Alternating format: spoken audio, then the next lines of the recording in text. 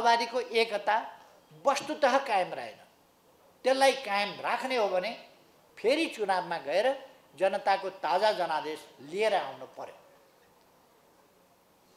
अर्को कुरा पार्टी कब्जा गर्ने षड्यन्त्र समाप्त पार्नका लागि प्रतिनिधि सभा विघटन गरेर सङ्गठन सुदृढ गर्नु पर्यो। किन सङ्गठन त षड्यन्त्रकारीहरूले कब्जामा लिइसके। त्यस्तो अवस्थामा कार्यकर्तामा अपिल गर्न जान बाहेक अर्को उपाय रहेन। त्यसकारण प्रतिनिधि सभा बिल्कुल लोकतान्त्रिक कुरा हो। प्रतिनिधि सभाको विघटन र जनतामा ताजा जनादेशका लागि जानेर प्रधानमन्त्रीको काम र प्रधानमन्त्री विरोधीहरूको क्रियाकलापको मूल्याङ्कन जनताले गर्ने कुरा एकदम जायज कुरा त्यो गठबन्धन फेरि पनि अहिले पाँच दलीय गठबन्धन छ दलीय अब त राजावादी राप्रपासँग पनि उनीहरूको गठबन्धन भइसक्यो र झापाको मेरी निर्वाचन क्षेत्रमा राजावादी राप्रपाको क्यान्डिडेटलाई काङ्ग्रेस माकुने प्रचण्ड सबै गुटहरूले साझा क्यान्डिडेटको रूपमा मानेर एमाले विरुद्ध आइ नै सके। त्यस कारण यो पाँच दलीय होइन अब छ दलीय गठबन्धन भइसक्यो। यो गठबन्धन त कायमै छ हिजो जुन परोक्ष रूपमा त्यो गठबन्धन थियो पार्टी फुटाउनका लागि त्यो त्यसका विरुद्ध हामीले ताजा जनादेशमा जान फैसला गऱ्यौँ। अदालतले हाम्रो हामीलाई हराइदियो। मैले अदालतको बारेमा धेरै केही भनिरहनु पर्दैन। अदालतले हामीलाई हराइदियो। पहिलो हराएको कुराको चर्चा किन गर्नु परेन भने दोस्रो पल्ट त अदालत त तमासै गर्न निस्क्यो नि त मैदानमा। खुलेआम निस्क्यो।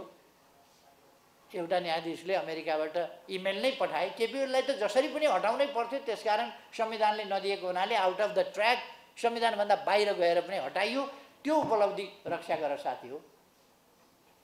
तिमीहरूले गरेको काममा मेरो सहमति छ भनेर इमेल उहाँबाट एकजना फैसला गर्ने न्यायाधीशले पठाए। ओढेका क्रान्तिकारिताको बर्को ओढेका महान क्रान्तिकारीको बर्को ओढेका यस्ताहरू नेपाली कङ्ग्रेसदेखि लिएर माकुने प्रचण्ड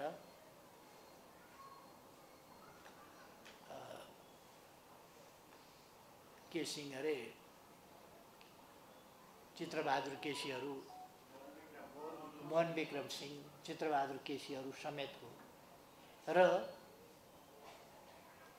तराईवाद मधेसवाद मधेसवाद भने के हुन्छ तर मधेसवादी मधेसवाद के हुन्छ त्यो थाहा छैन तर मधेसवादीहरू समेत। उद्देश्य नभएका नेपाली कङ्ग्रेस विचार गर्नुहोस् नेपाली कङ्ग्रेस प्रचण्ड।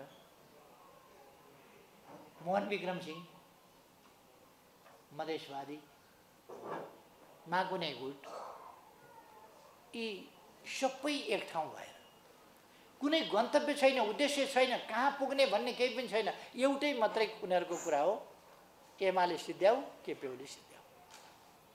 उनीहरूको भाषणमा तपाईँहरू हेर्नुहुन्छ होला केपी ओली बाहेक केही छैन। एकजनासँग एकजना लड्नुपर्छ अनेकले हतियार प्रयोग गर्न पाइँदैन। यस्ता नियमहरू हुँदा हुँदै निहत्था एउटा युवालाई अनेकले एकसाथ हतियार प्रयोग गरेका थिए निहत्थामाथि र एकजनामाथि अनेकले प्रहार गरेका थिए। र उनलाई त्यो चक्रव्यूह तोडेर बाहिर आउने ज्ञान चाहिँ थिएन। मैले यो कथा राजीनामा गर्दै गर्दा बोलेको कमरेडहरूलाई सम्झना होला। मैले भनेको थिएँ त्यो त महाभारतको कुरा हो र कलिलो चक अभिमन्युको कुरा हो।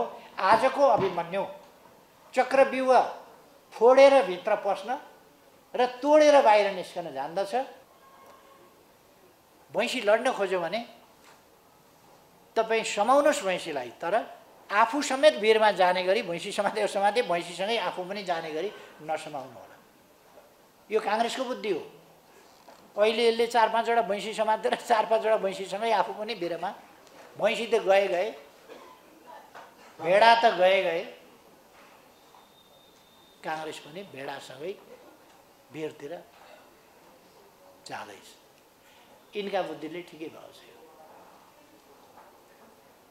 र हामी यस हिसाबले अगाडि बढ्दैछौँ। वास्तवमा प्रतिनिधि सभाको विघटन बिल्कुल जायज आवश्यक थियो र नै आज हामी यहाँ छौँ। आज प्रमुख शक्तिको हैसियत हामीले किन कायम गरेका छौँ र देशमा एमालेको लहर कसरी सिर्जना गरेका छौँ भने होइन भने होइन भने एमाले गन्तव्यहीन दिशाहीन भएर खतम भएर यो ध्वस्त बनेर प्रचण्ड माधव जस्ताहरूको कब्जामा भाइलाई के बनाउने बुहारीलाई के बनाउने छोरीलाई के बनाउने कसलाई के बनाउने त्यसैमा केन्द्रित भएर समाप्त हुन्थ्यो। यो पार्टी। अनि त्यसो भएर